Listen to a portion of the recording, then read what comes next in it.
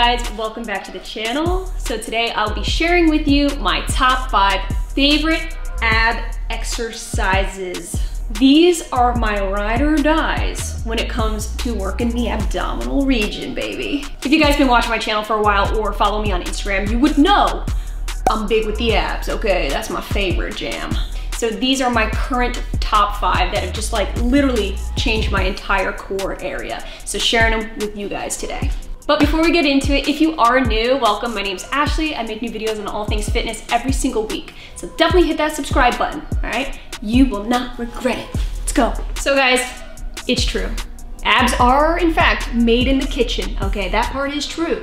A slight caloric deficit is what you'll need to achieve a really just lean overall toned core. However, abs are strengthened in the gym so guys, the only things I'll be using today are kettlebells and a bench, an adjustable bench, all right? Both of these can be purchased online. I'll have links down below so you can really find room in any home. So they are like very home friendly types of equipment, take up virtually no space, and are literally like a game changer. So keep that in mind.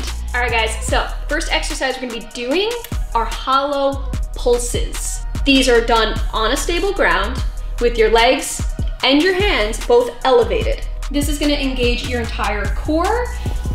Basically, just gonna keep yourself elevated and do little pulses like that down, levitate, going up, elevate. Watch me demonstrate. On time, never late. I grind, celebrate. No pump, fake, hesitate. I've been scoring every day.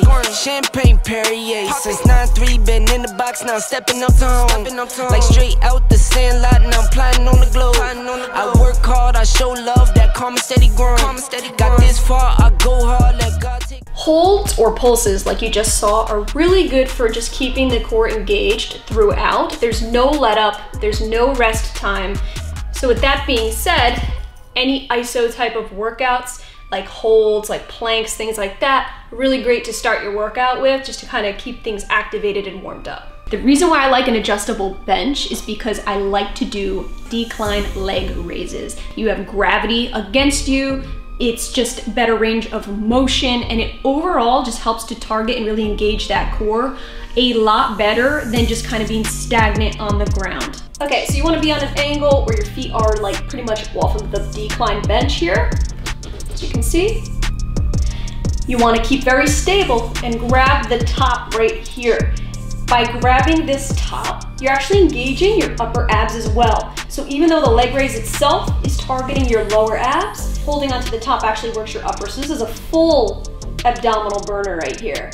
You could try three sets of 12. That's typically what I go for, but please, by all means, everybody's body's different. So I would never tell you how many reps and sets you should do. It depends on an individual's goals and their capabilities. So always keep that in mind.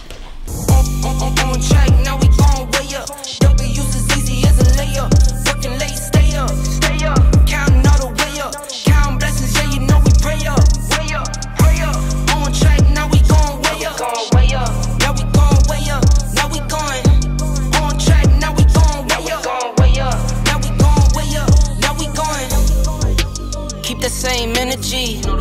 Work on being better when I'm 70. Your drip is just a water spring. You know I drip different, this is seven seas. I deal with life different, make that limit squeeze. Went off for my style and identity. Better bounce back and get the cheddar cheese. I guess that's why they envy me. Exercise that I love, love, love, love to engage this entire freaking core area are decline sit-ups. So the trick to these is making sure that your back does not actually touch or rest on the bench. So when you're eccentrically declining, keeping your core nice and engaged the entire time, you're gonna go right as if you're about to touch, hold for a sec, and then come all the way back up. Always be sure to go down nice and slow. Be sure to keep your core nice and tight, back straight, neutral spine. You don't want to be having your neck all cocked down anywhere. Okay, so nice and just straightforward as you go, like that. Make sure you have your feet anchored right here on your bench, and then you're good to go.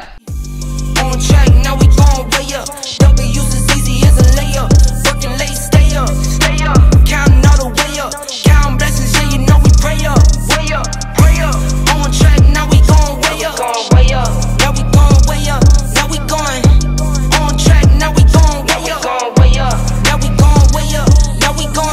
I got his his band like I'm Barry Bonds. Running through the money, but the money's long. I don't love it, but I need it, keep it coming on. Only friendly, me and friends, we don't get along. I put that on my name. All right, guys, now let's move on to some weight. 10 pounds kettlebell, baby. Typically, I like to add in the weight after I've done a lot of just like body weight work first, just to kind of warm up those core muscles.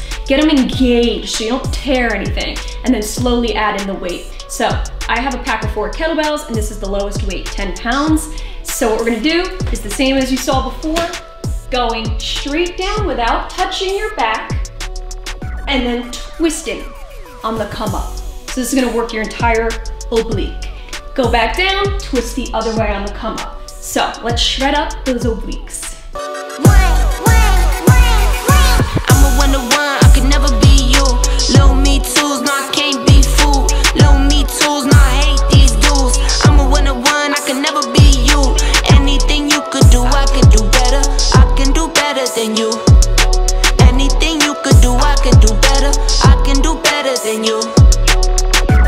Drop my first single, go. Oh, all right, guys, last one, last ab workout. This is probably my favorite to do. We're gonna be doing weighted toe touches with a kettlebell, going heavier this time, all right? I went from 10 to 25 pounds, but please, by all means, do what's comfortable for you. I didn't start off with 25 pounds at all. so this is just something I'm working my way up with. Now what we're gonna be doing here is laying flat on your back. You're gonna keep your feet elevated the entire time, like so. You're gonna grab your kettlebell. I like to hold it like this, nice and tight, and just touch your toes. So what you're gonna do, and this is how I like to perform these, is to go up, touch your toe, keep it there for a second. Right now, my entire upper to mid abdominal is on fire. And then I'm just gonna slowly go back with the kettlebell. Flat back. Keeping my arms elevated, never touching the ground, and then coming back up this way. Your legs are staying up the entire time during this. Make sure you get those shoulders off the ground up. Hold for a second. So let's do this, shall we?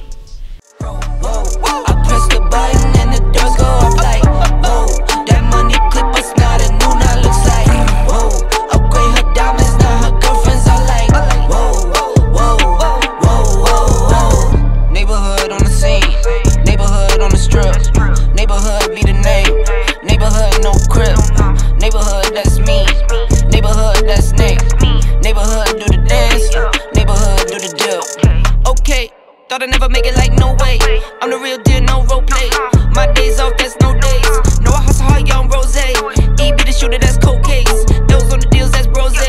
Got no pay, no say. Okay, this the news, tell 'em read it. Been the one since the fetus.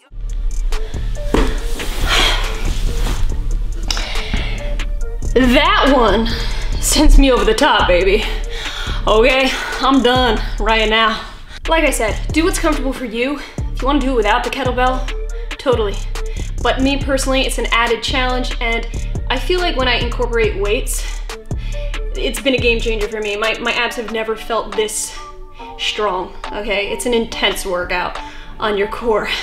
Training core is such an essential part of any exercise routine because it helps you in every other facet of your training, whether it's lower body, upper body. Having a solid, solid core trunk right here is what you need in order to stabilize and just be safe while working out to prevent any types of injuries. So very important, incorporate it if you're not.